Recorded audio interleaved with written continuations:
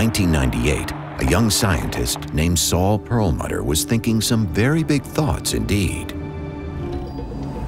The question that's been really exciting me is whether the universe will last forever. Do we live in a universe that, that is infinite, or will someday will it come to an end?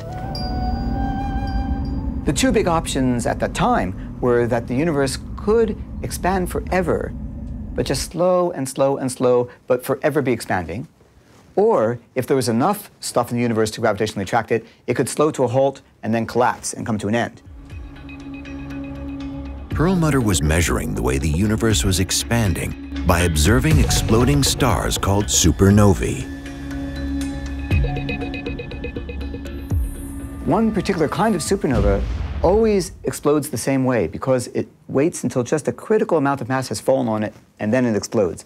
So they all look very similar to each other. They brighten as a firework and fade away, and they reach the same brightness. And you can then use that as an indicator of how far away it is by just looking to see how bright it appears to you.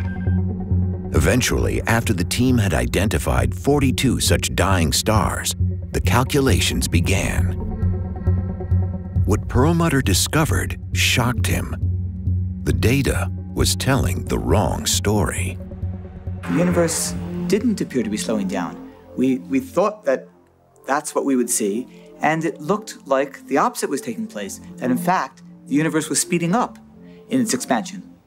These distant supernovae were fainter than you would have thought, and fairly significantly fainter. They were, you know, probably 20% uh, or more, and that's the hallmark of a universe that's actually speeding up in its expansion.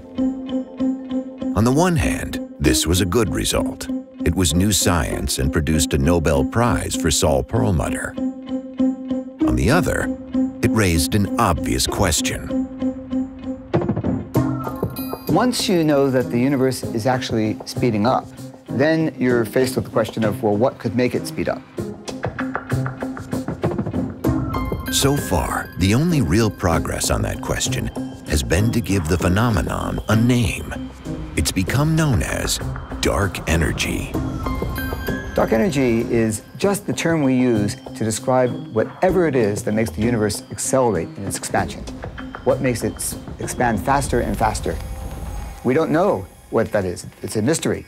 And so we call it dark to reflect our ignorance, not because it's, uh, the color is dark.